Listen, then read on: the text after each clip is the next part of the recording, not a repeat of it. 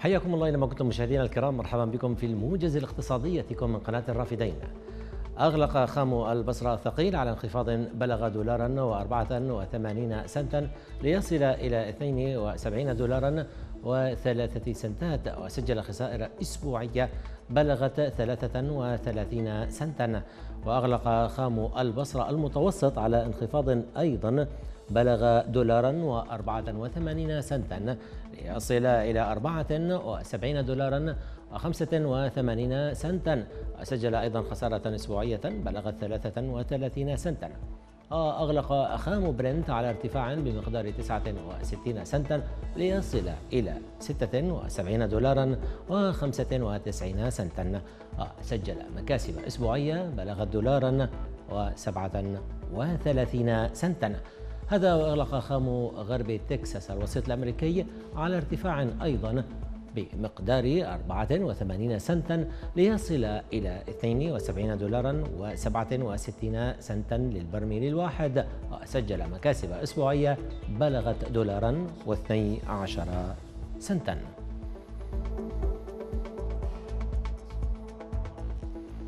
كشفت مؤسسة عراق المستقبل للدراسات عن انخفاض قيمة الصادرات السعودية إلى العراق في الربع الأول من عام 2023 بنسبة 10% على أساس فصلي مقارنة مع الربع الأخير من العام الماضي. وبحسب المؤسسة فقد انخفضت الصادرات السعودية من المعادن والتي تشكل في أغلبها مادة الألمنيوم بنسبة 15% على أساس سنوي وارتفعت بمقدار 4% على أساس فصلي مقارنة مع الربع الأخير من عام 2022 ولتبلغ قيمتها 63 مليون دولار أمريكي. وتمثل هذه المنتجات ما نسبته 26% من مجمل الصادرات السعودية إلى العراق.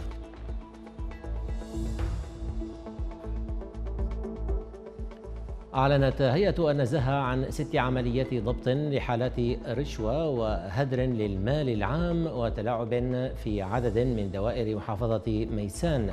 وقالت الهيئة إنها ضبطت أحد المتهمين وأصدرت أوامر قبض واستخدام بحق آخرين. وبينت أن المتهم ابتز أحد المراجعين وأخذ منه مبلغا من المال لقاء تزويده برخصة مزورة لقيادة المركبات حيث قام بالتنسيق مع موظف في تسجيل قاعدة بيانات تسجيل المركبات في المديرية والدخول إلى قاعدة البيانات والتلاعب في بيانات رخصة القيادة.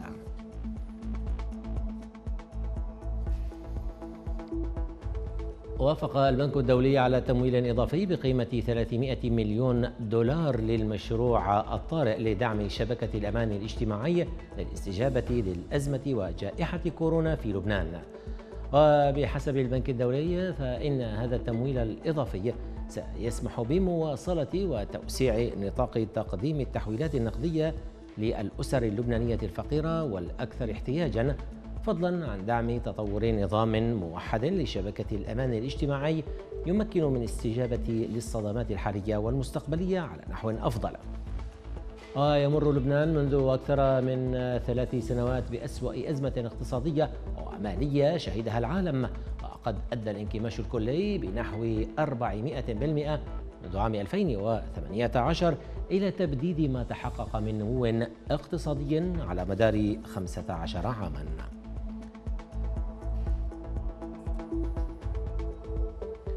غرمت محكمة في سنغافورة مصرف كريدي سويس السويسري بدفع تعويض قدره 926 مليون دولار لانتهاكه في حماية أصول مسؤولين أوروبيين. محكمة سنغافورة التجارية الدولية قالت في الحكم المنشور إن المدعين أثبتوا أن المدعى عليه انتهك واجبه تجاه المدعين لحماية أصول الصندوق في عام 2008 من جهته قال المصرف. إنه قلق بشأن الحكم واعتبر أن الحكم المنشور خاطئ ويطرح قضايا قانونية مهمة للغاية. وتعتزم شركة كريدي سويس ترست المحدودة استئنافه بقوة.